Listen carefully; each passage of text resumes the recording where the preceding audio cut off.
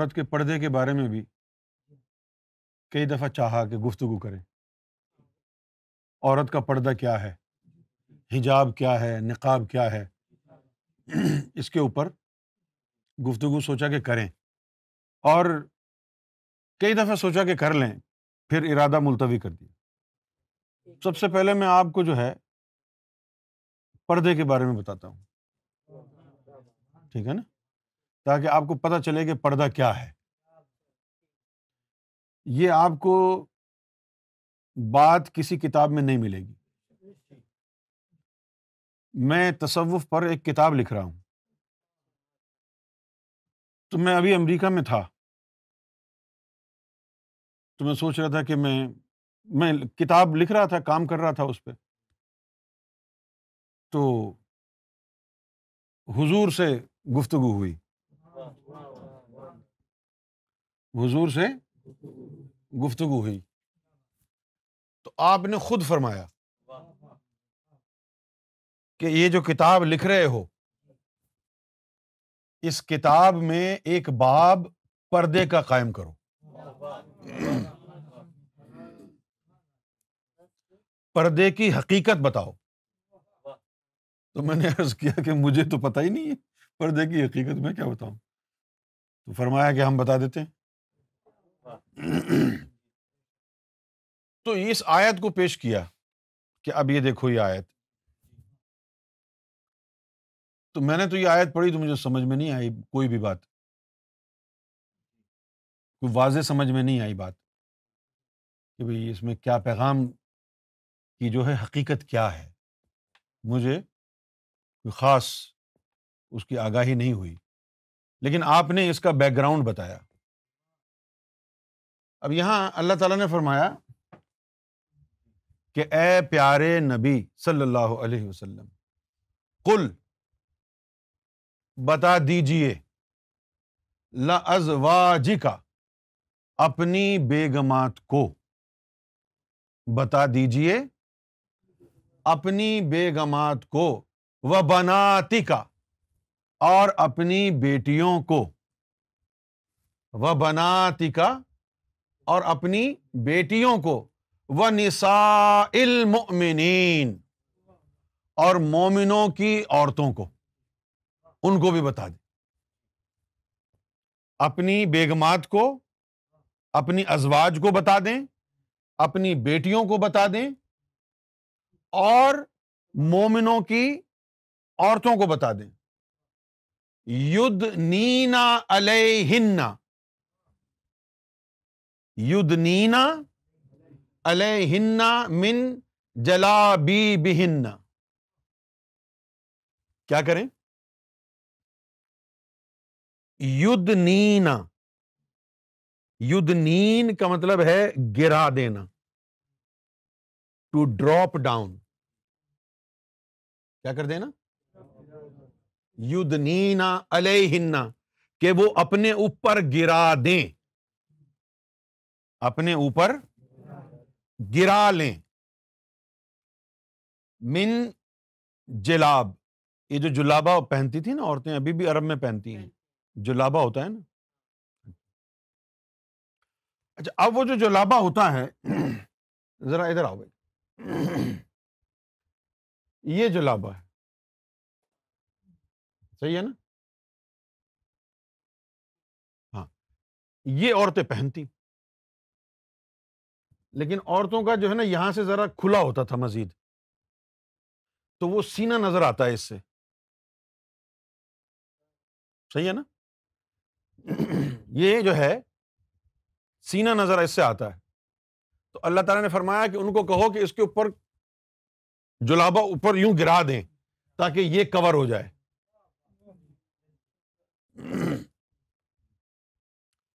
ٹھیک ہے نا؟ یہ بات تو سمجھ میں آ گئی، اب بیٹھ جائیں گے آپ۔ اس کے بعد فرمایا کہ ذالکا ادنا یو رفن یہ بہتر ہوگا ان کے حق میں۔ یو رفن کہ ان یہ پہچانی جائیں کہ کون ہے کیوں؟ فلا یو زینا تاکہ کوئی ان کو تنگ نہ کرے۔ تاکہ کوئی ان کو تنگ نہ کرے۔ وکان اللہ غفور رحیم اب میں اس میں الجھا ہوا تھا کہ ان کو پہچانا جائے اور کوئی تنگ نہ کرے۔ اس کے پیچھے کیا کہانی؟ تو نبی پاک صلی اللہ علیہ وسلم فرماتے ہیں کہ وہ دور ایسا تھا کہ لوگ اپنی بچیوں کو پیدا ہوتے ہی زندہ گاڑ دیتے تھے۔ آپ سمجھتے ہیں وہ ظالم تھے؟ نہیں، وہ لوگ ظالم نہیں تھے جو گاڑ دیتے۔ ہاں وہ مجبوراً ان کو زندہ بچیوں کو گاڑ دیتے تھے کہ کہیں یہ آوارہ نہ ہو جائے، طوائفہ نہ بن جائے۔ اور عورتیں اس زمانے میں ان کا لباس سب کا ایسا ہوتا تھا کہ سینا ان کا واضح نظر آتا تھا۔ سب کا۔ سمجھ میں آ گئی یہ بات آپ اچھا اب کیا ہوتا تھا کہ سڑک کے اوپر یا باہر جو عورت جا رہی ہے، اب دیکھیں نا اسلام میں کتنی سختی ہے کہ بغیر محرم کے نہ جاؤ، ہے نا؟ طالبان نے بھی یہی کہا۔ طالبان والے جو متشدد علماء ہیں اور طالب وہ سب یہ کہتے ہیں کہ اکیلی عورت کیسے جا رہی ہے باہر؟ یہ کیوں تھا؟ اسلام میں یہ آیا کیوں؟ اس لیے کہ اس وقت جو عورتیں تھیں، وہ زیادہ تر عورتیں طوائفہ تھیں۔ عام تھا۔ لونڈیاں بنی ہوئی تھیں خادمائیں بنی ہوئی تھیں کنیزیں بنی ہوئی تھیں اس دور میں۔ عام تھیں، عام۔ ہاں اور وہ ہاں اور جو گلی میں جا رہی ہیں، تو لوگ پھر ان کو چھیڑتے تھے۔ چھیڑتے تھے، کیونکہ پتا تھا کہ یہ سب ایسے ہی ہے۔ اب جب حضور کا جو گھرانہ ہے، ان کی خواتین جب باہر جاتی اب یہاں پر ذرا دل کو تھام کے بیٹھے نا اس وقت یہاں، جو میں اب جملہ کہہ رہا ہوں۔ ان میں سارے ہی شامل تھے، جو آتی جاتی عورتوں کو چھیڑتے تھے۔ سمجھے آپ؟ اور کئی واقعات ایسے ہوئے کہ حضور کی ازواج باہر گئی ہیں اور لوگوں نے ان کو چھیڑا ہے۔ اب بعد میں آ کر جب شکایت کرتی تو وہ لوگ آ کے معافی مانگتے، کہتے، ارے، آپ حضور کے گھرانے سے ہو، ہمیں تو پتا ہی نہیں تھا۔ یعنی پتا نہیں چلتا تھا کہ کون ہے یہ۔ کیونکہ یہ چھیڑنا عورتوں کو عام تھا۔ زیادہ تر کثرت عورتوں کی ایسی تھی۔ یا تو کسی کی غلامی میں تھی یا لونڈیاں تھیں۔ سمجھے آپ؟ یا وہ عورتیں تھیں کہ جن کے ماں باپ نے ان کو مارا اس لیے نہیں کہ یہ بڑی ہوں گی تو کمائی کا ذریعہ بنے گی۔ یہ جب بڑی ہو جائیں گی تو کمائی کا ذریعہ بنے گی۔ تو وہ تھی تو جب دو چار دفعہ ایسا ہوا تو پھر اللہ تعالیٰ نے یہ آیت نازل کی۔ کیا نازل کی یہ آیت؟ کہ یا رسول اللہ صلی اللہ علیہ وسلم اپنی بیگمات کو، اپنی بیٹیوں کو اور مومنوں کی بیویوں کو کہہ دو کہ وہ اوپر سے چادر لے لیں۔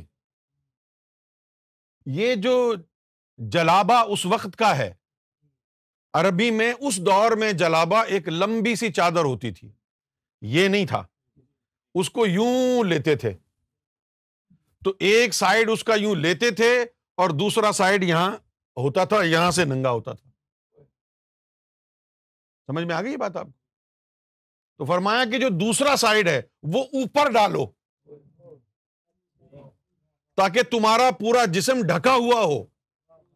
اور لوگوں کو پتا چلے، یہ شریف عورتیں جا رہی ہیں۔ تعارف ہو جائے کہ یہ شرفا ہیں۔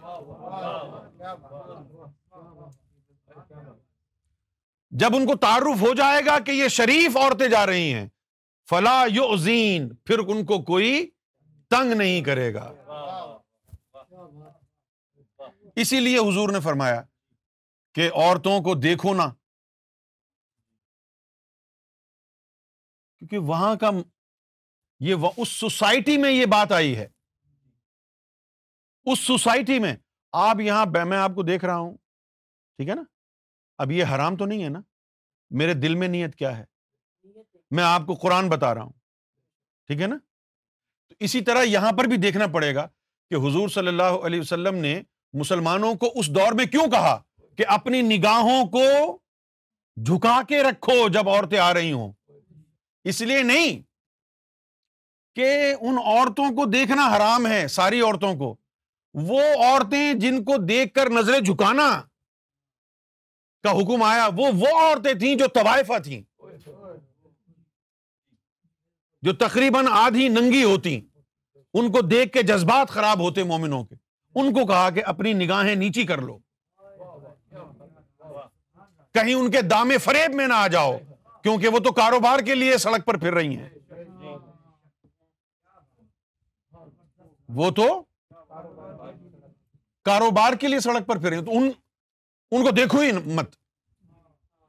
اور پھر اس کے اوپر مولویوں نے ہزاروں کہانیاں بنا لی پہلی نظر جائز دوسری نظر ناجائز یہ سب کہانیاں ہیں۔ کوئی اس میں حقیقت نہیں ہے۔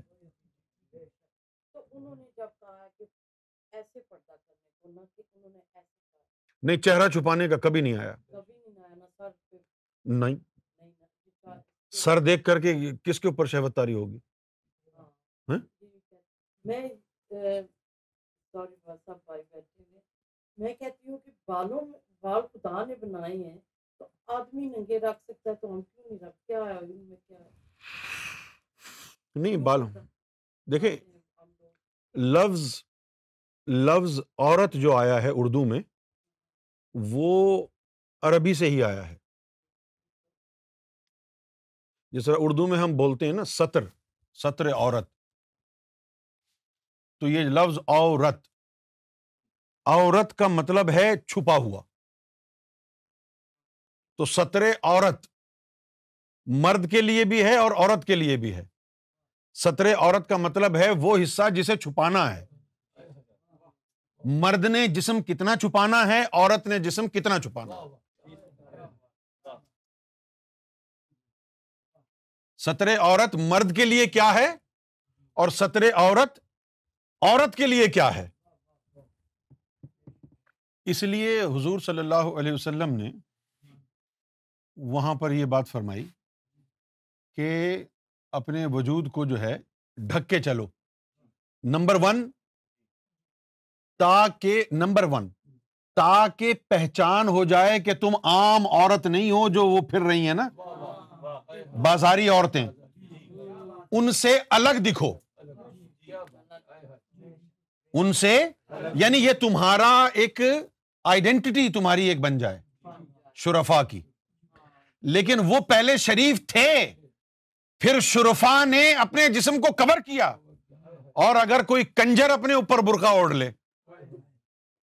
تو اس سے، اس پردے سے کیا فائدہ ہوگا؟ اندر تو کتا بیٹھا ہوا ہے۔ کیا خیال ہے آپ؟ تو سطر عورت عورت کے لیے کتنا ہے؟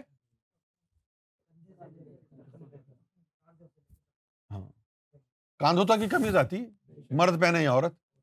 کیوں بھائی؟ ایک دوسری آیت میں اللہ تعالیٰ نے فرمایا، یا رسول اللہ صلی اللہ علیہ وسلم، اپنی بیگمات کو کہہ دو کہ اپنے سینوں پر اوڑھنیاں لے لیں۔ چہرے کا تو کہیں کہا ہی نہیں۔ یہ بھی قرآن میں ہے۔ سمجھے آپ؟ اچھا اب مجھے یہ بتائیے، قرآن کے مطابق، میری بہن آپ بھی سنیے، قرآن کے مطابق انصاف سے کام لینا۔ اللہ تعالیٰ فرما رہا ہے تاکہ یہ پہچانی جائیں کون ہے اگر نقاب ہوتا تو اللہ یہ کیسے کہتا کہ پہچانی جائیں اگر نقاب اوڑھ لیا جائے۔ وہ پہچانی کیسے جائیں گی اگر نقاب اوڑا ہوگا؟ کہ یہ حضور کا گھرانہ جا رہا ہے۔ یہ شرفا ہیں۔ اللہ کا مقصد یہ ہے کہ ان کا تعارف یہ پہچانی جائیں کہ یہ ہیں کون۔ پہچانا تو اس وقت جائے گا جب چہرہ نظر آئے گا۔ کیا خیال ہے؟ So that you may be recognised پہچانے تو آپ تبھی جائیں گے نا جب آپ کا میں چہرہ دیکھوں گا۔ اور اگر چہرے کے اوپر نقاب ڈالا ہوگا۔ اگر اللہ یہ کہتا کہ بھائی اپنے چہرے کو بھی چھپا لو تاکہ تم پہچانے جاؤ۔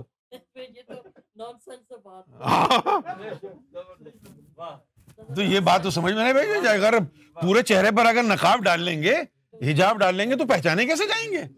لیکن قرآن کے الفاظ ہیں یہ۔ فرمایا کہ یہ بہتر ہوگا کہ تم پہچانے جاؤ۔ ذالکا آدنا۔ یہ بہتر ہوگا کہ پہچان لیں کہ یہ شرفا ہیں۔ صرف جسم کو ڈھکنا ہے، چہروں کو نہیں ڈھکنا۔ چہروں کو؟ اگر چہروں کو ڈھک دیا جائے گا، تو پھر پہچانی کیسے جائیں گی؟ اب یہ ایک بنیادی نقطہ میں نے سمجھایا ہے، لیکن میں جو کتاب میں لکھ رہا ہوں، وہ اس میں تفصیل ہے۔ ابھی ایک بنیادی نقطہ ہے۔ میں نے سوچا کہ پہلے یہ بیان کر دوں ہاں، ہاں، کچھ دن پہلے میں نے اپنے انسٹاگرام پہ دو تصویریں بھی لگائی تھیں اور بتایا تھا، یہ حجاب ہے، یہ نقاب ہے۔ وہ وہی دن تھا۔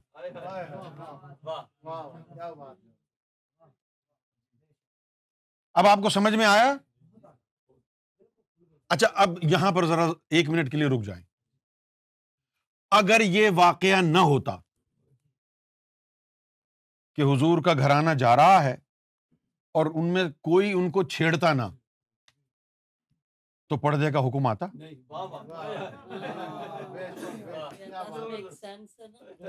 دوسری بات یہ کہ گھر سے عورت اپنے شوہر کے بغیر باہر نہ نکلے۔ کیوں؟ باہر کرفیو لگا ہوا ہے کیا؟ کیا ہے باہر؟ کہ اگر وہ اکیلی جائے گی تو اکیلی تو وہ عورتیں پھر رہی ہیں جو بازاری ہیں۔ اس لیے منع کیا کہ غیر محرم یعنی محرم کے ساتھ باہر جاؤ۔ یہ اس معاشرے کے لیے تھا، آج کے لیے نہیں ہے۔ آج کسی کو چھیڑ کے دکھاؤ نا، تمہیں پولیس اٹھا لے گی۔ ہاں۔ اس وقت تو تھا ہی نہیں کچھ۔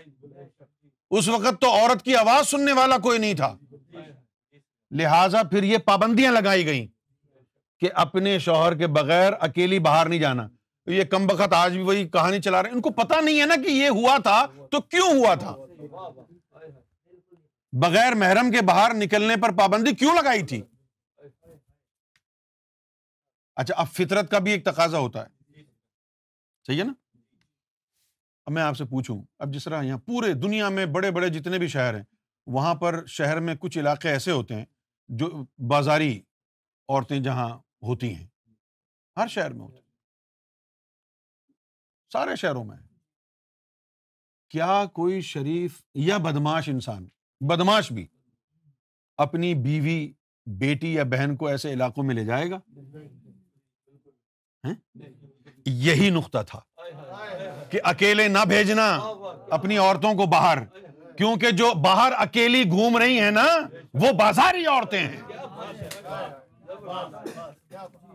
لیکن یہ اس معاشرے کے لیے تھا اس معاشرے میں وہ چیز نہیں رہی۔ اب عورت اکیلی باہر جا سکتی ہے، اسلام کے مطابق، قرآن کے مطابق۔ اب جا سکتی ہے، کیونکہ اب نظام بدل گیا ہے، معاشرہ بدل گیا ہے اب۔ یعنی میں نے بنیادی نقطہ آپ کو سمجھا دیا ہے کہ وہ جو حضور کو جو حکم آیا، تو کیوں آیا؟ کہ بھائی اپنی بیگموں کو، اپنی بیٹیوں کو اور مومنوں کی بیویوں کو کہہ دو کہ وہ اپنے جسم کو ڈھانپ کے چلیں تاکہ تعارف ہو جائے، یہ شرفا ہیں۔ اور جب تعارف ہو جائے گا کہ یہ شرفا ہیں، فلا یو زینا کوئی ان کو تنگ نہیں کرے گا۔ پہلے تو آپ کو یہ دیکھنا پڑے گا کہ اس زمانے میں براہ راست اللہ نے چار نہیں کہا۔ کہا ایک، پھر حضور نے کچھ کہا۔ اللہ نے کہا چلو دو۔ پھر حضور نے کچھ کہا۔ تو اللہ نے کہا چلو تین۔ پھر حضور نے کچھ کہا۔ تو اللہ نے فرمایا پھر چار۔ اب کہانی کیا ہے؟ کہانی یہ ہے کہ اللہ تعالی عورتوں کو عزت دینا چاہتا تھا۔ اللہ تعالی کس طرح؟ کہ اس دور میں ہر بندے نے عورتیں خرید کر بیس بیس گھر میں رکھی ہوئی تھیں۔ کسی کے پاس بیس لونڈیاں ہیں کسی کے پاس تیس ہیں۔ عورتیں بھی اور مرد بھی۔ جو غلام تھے، کون تھے یہ؟ آدمی تھے نا۔ اور جو لونڈیاں تھیں، عورتیں؟ ہاں اب ان کو رکھ۔ اب جب جنہوں، جن لوگوں نے اسلام قبول کر لیا، تو پھر ان کو کہنے لگے کہ بھائی نکاح کرو، میری سنت ہے۔ اپنی شہوانی خواہشات کی تکمیل کرنا، نکاح کر کے میری سنت ہے۔ بغیر نکاح کے کرنا میری سنت نہیں ہے۔ سمجھے آپ؟ تو نکاح کرنا سنت کیوں ہوا کہ بغیر نکاح کی عورت کے ساتھ ہم یعنی وہ فیل کرنا وہ جائز نہیں تھا۔ لیکن ان کو پتا نہیں تھا۔ وہ سب کرتے تھے۔ اب کسی کے پاس بیس ہے کسی کے پاس تیس ہے اب حکم آیا کہ عورت کو عزت دیں۔ تو یہاں سے لیگل کی جو ہے یہ میاد رکھی کہ جس کے پاس دو تین لونڈیاں غریب آدمی ہے، تو چلو وہ ایک کر لے۔ گزارا ہو جائے گا اس کا۔ کسی کے پاس دس ہیں، چل ان کو تو آزاد کر اور تو دو کر لے شادی۔ اب دس کی جگہ دو بہتر ہے نا؟ کیوں بھائی؟ دس کی جگہ دو بہتر ہو گئی نا؟ عزت کے ساتھ رہیں گی، بیوی کہلائیں گی۔ جس کے پاس بیس ہیں، یا یا اللہ اس کا کیا ہوگا؟ چلو پھر تین۔ یہ بیس چھوڑ، آزاد کر ان کو، تین شادیاں کر لے۔ تو میکسیمم نمبر چار کا دیا۔ وہ لوگوں کو دیکھ کے دیا کہ یہ اتنا امیر ہے، اس کے پاس چار لونڈیاں ہیں۔ اس کے پاس دس ہیں، اس کے پاس پندرہ ہیں، اس کے پاس بیس ہیں۔ ان کو آزاد کر اور اتنی اجازت دے۔ جس کے پاس بہت زیادہ تھی، ان کو کہا، چل تو چار لیگل رکھ لے۔ آج تو کسی نے لانڈری نہیں رکھی ہوئی ہے نا؟ تو آج چار کی اجازت نہیں ہے۔ ایک ہی شادی صحیح ہے۔ ہاں کیونکہ آپ کے آپ نے کہاں لونڈی رکھی ہوئی؟ وہ تو اللہ نے بارگیننگ کی ہے انسانوں سے۔ ان کو گناہ سے نکال کر حلال کی طرف لانے کے لیے۔ اللہ نے ان کے ساتھ نیگوشیشن کیا ہے۔ کیا کیا ہے؟ اگر آپ کہتے ہیں کہ جی مجھے تین یا چار شادی کرنی ہے ٹھیک ہے لاؤ۔ تیس لونڈیاں ہیں؟ نہیں تو؟ تیس لونڈی کو چار شادیوں سے کیا تعلق؟ اس لیے کہ جس کی تیس بینتیس پینتیس لونڈیاں تھیں نا، ان کو اجازت تھی چار شادیوں کی۔ آپ تو زمانہ تبدیل ہو گیا نا بھائی۔ اب آپ کسی عورت کو کیسے خرید سکتے ہیں؟ اس لیے کہ اس نے مولویوں کی باتیں سنی ہے نا، جن کے پاس علم نہیں ہے۔ مولویوں نے کہا ہے بھائی چار کی اجازت ہے، کر لو۔ یعنی یہ اللہ نے شک لگائی ہے۔ ہاں کہ انصاف بھی کرنا ہے۔ انصاف کا مطلب یہ ہے کہ اس کو جتنا دیا ہے، اس کو بھی اتنا دی وہ تو ایک کے ساتھ نہیں کرتا انصاف۔ چار کے ساتھ کیا کرے گا؟ وہ ایک کے ساتھ انصاف نہیں کر پا رہا بےچارا نہ آج کے مرد وہ مرد ہیں، انصاف والے۔ نہ آج کی عورت ویسی عورت ہے۔ جو ہونی چاہیے۔ آج کل تو نہ مرد صحیح رہا، نہ عورت صحیح رہی۔ جب تمہارے اندر اللہ کا نور آئے گا، پھر تم صحیح عورت بنو گے، پھر تم صحیح مرد بنو گے۔ ہاں، اب جو چیزیں مومنوں کے لیے تھی وہ اگر کوئی اپنے لیے لاگو کر لے تو پھر فائدہ تو نہیں ہے نا؟ اس کا پھر اثر تو نہیں ہوگا۔ ہاں تو انہوں نے لونڈیاں رکھی ہوئی تھی نا۔ تو اللہ تعالیٰ نے ان کو جو ہے آزاد کرا کے اور کہا کہ چلو یہ اتنی اتنی کر لو۔ سب آدمی کے لیے نہیں کہا یہ۔ کیونکہ غلط تعلیم ملی ہے نا ان کو۔ مولویوں نے غلط تعلیم دی ہے نا ان کو۔ اب یہ جو میں نے آپ کو باتیں بتائی ہیں تو یہ تو حضور کے ساتھ مکالمہ ہوا ہے یہ تو اس کا نتیجہ ہے۔ ورنہ اس دور میں کیا ہوتا تھا اتنی ڈیٹیل سے کیسے پتا چلے گا آپ؟ اس دور میں یہ ہوا۔ اس آیت کا جو بیک گراؤنڈ انفارمیشن ہے وہ یہ ہے۔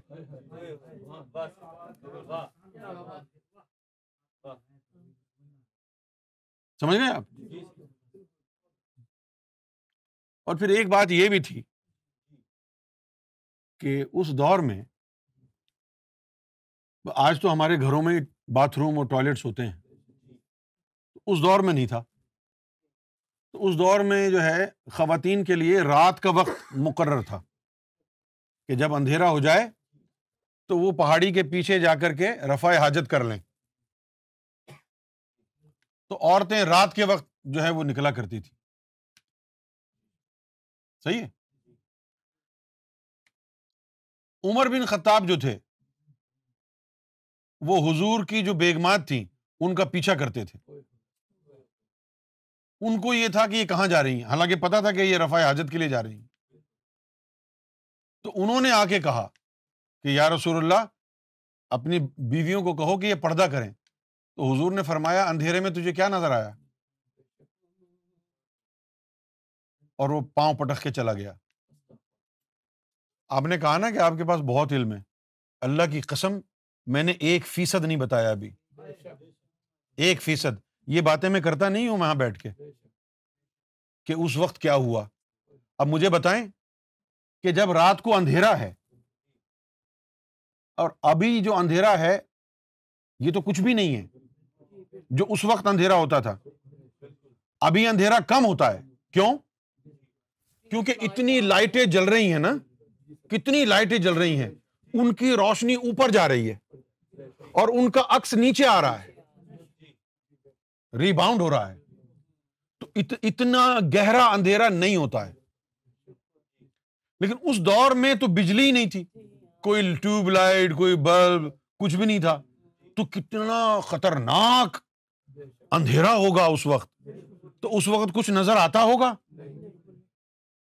تو یہ کہتے تھے کہ ان کو کہو پردہ کرے۔ وہ بھائی، رات کے اندھیرے میں تو نے دیکھا کیا ہے؟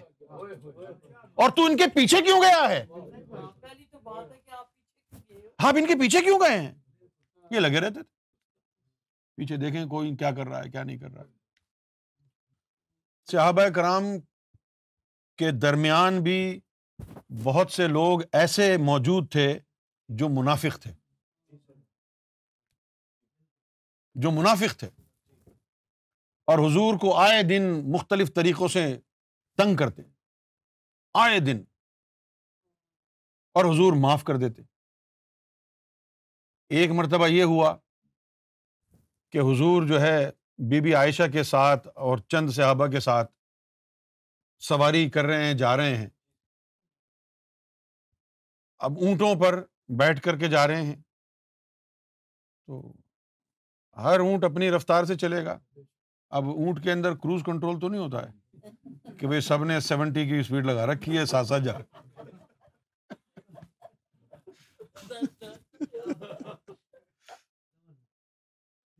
تو اب وہ اونٹ جو ہے، تھا۔ بی بی عائشہ جس اونٹ پر سوار تھی وہ تھوڑا سا جو ہے سلو تھا۔ اس کے علاوہ ان کو رفع حاجت محسوس ہوئی۔ اب جب ان کو رفع حاجت محسوس ہوئی، تو ان کو یہ خیال آیا کہ ان کو تھوڑا سا آگے نکل جانے دو، پھر میں یہاں بیٹھ کے رفع حاجت کر لوں گی۔ اگر ابھی کیا تو سب موجود ہوں گے، میں کر نہیں سکوں گی۔ میک سینس تو انہوں نے انتظار کیا کہ یہ چلے جائیں اور جب وہ تھوڑا سا آگے نکل گئے تو انہوں نے رفع حاجت کی۔ پیچھے سے کچھ اور بھی آ رہے تھے صحابہ کرام۔ کوئی ایک آدھ اونٹ، بی بی عائشہ کی اونٹ کے قریب آ گیا۔ کسی اور نے دیکھا تو الزام لگا دیا کہ بی بی عائشہ کا معاذ اللہ کردار خراب ہے۔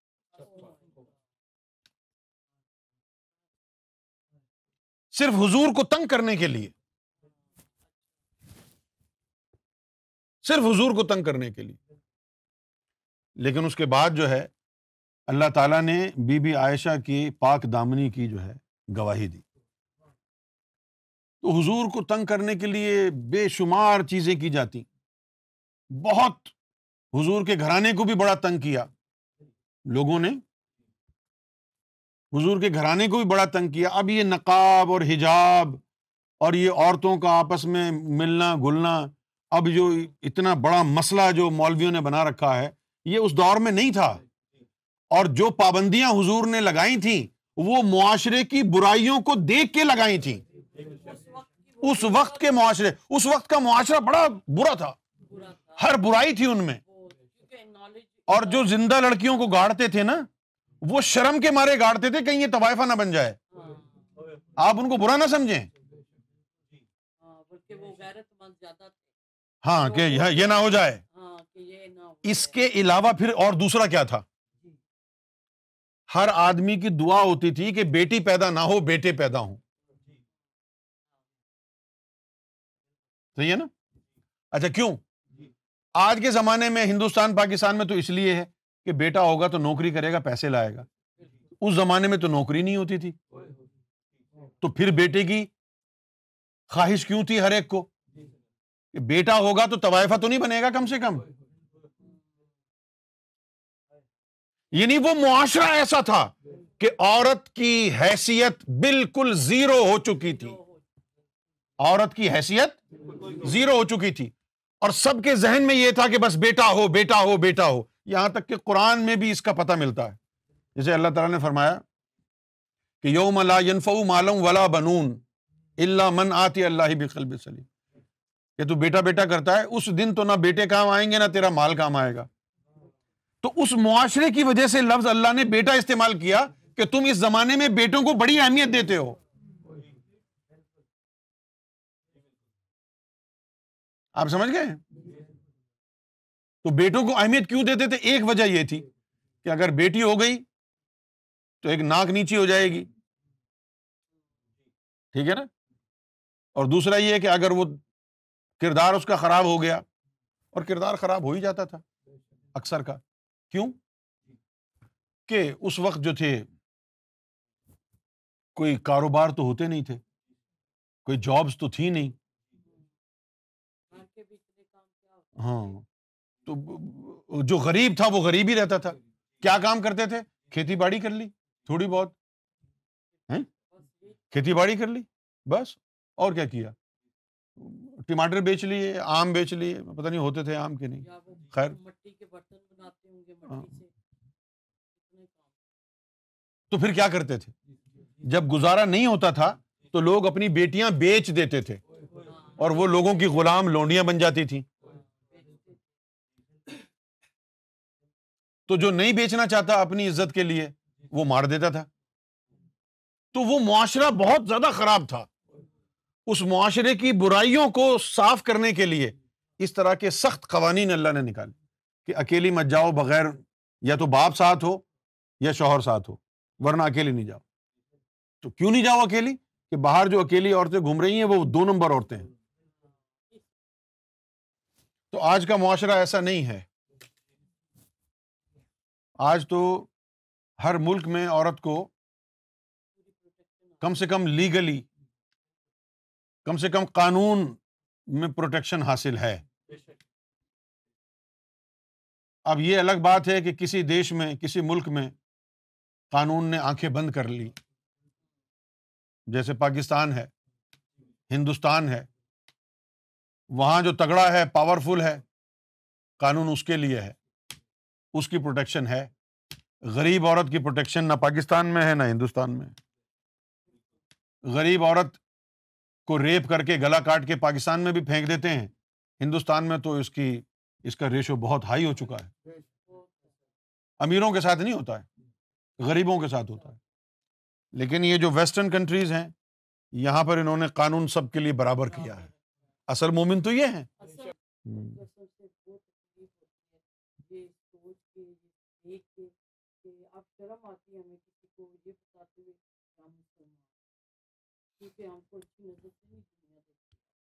ہے ایک دن آئے گا پھر۔ ہاں ایک دن آئے۔ جب تمہارے سینوں میں نور آ جائے گا نا ہاں، پھر تم، اللہ تعالیٰ تم کو عزت دے گا، پھر سب عزت کریں گے۔ اللہ نے وعدہ کیا ہے قرآن میں۔ ہاں اللہ نے کہا ہے کہ نہ دل نہ دل ہلکا کرو، نہ غم کرو۔ تم ہی غالب رہو گے۔ بشرط یہ کہ تم مومن رہے۔ پھر معزز بننا چاہتے ہو۔ سینوں میں نور لے آؤ۔ دلوں میں اللہ کو بسا لو۔ جب یہ دل اللہ اللہ میں لگ جائے گا نور آ جائے گا پھر دیکھنا کیسی عزت ہوگی۔ نہیں ذکر لینے کے بعد تو آ جاتا ہے دو تین دن میں۔ ہاں یہ تو پوری دنیا میں ہم پھیلا رہے ہیں نا پیغام۔ ہزاروں لاکھوں۔ ہزاروں لاکھوں لوگ لگ گئے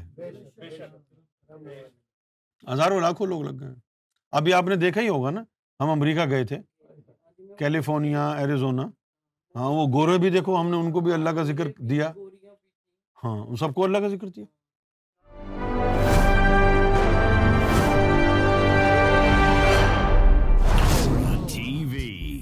Bringing light love and peace in your life